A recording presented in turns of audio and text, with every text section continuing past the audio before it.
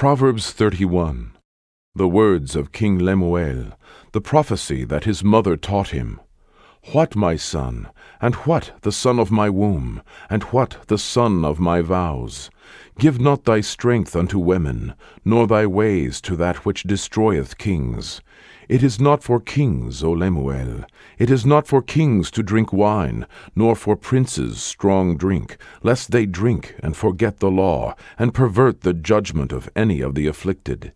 Give strong drink unto him that is ready to perish, and wine unto those that be of heavy hearts. Let him drink and forget his poverty, and remember his misery no more. Open thy mouth for the dumb in the cause of all such as are appointed to destruction.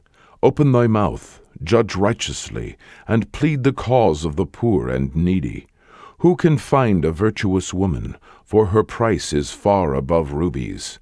The heart of her husband doth safely trust in her, so that he shall have no need of spoil. She will do him good and not evil all the days of her life. She seeketh wool and flax, and worketh willingly with her hands. She is like the merchant's ships. She bringeth her food from afar. She riseth also while it is yet night, and giveth meat to her household, and a portion to her maidens. She considereth a field, and buyeth it. With the fruit of her hands she planteth a vineyard. She girdeth her loins with strength, and strengtheneth her arms. She perceiveth that her merchandise is good. Her candle goeth not out by night.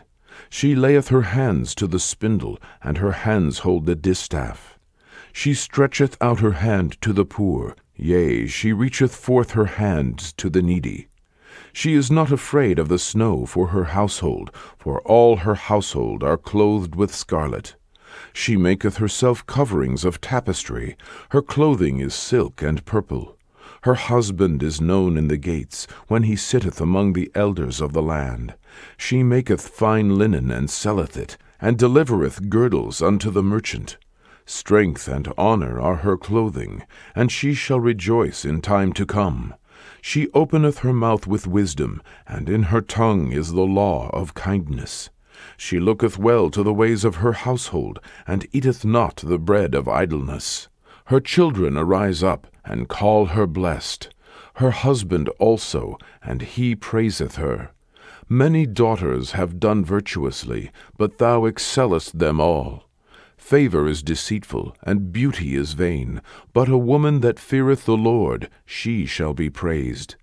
Give her of the fruit of her hands, and let her own works praise her in the gates.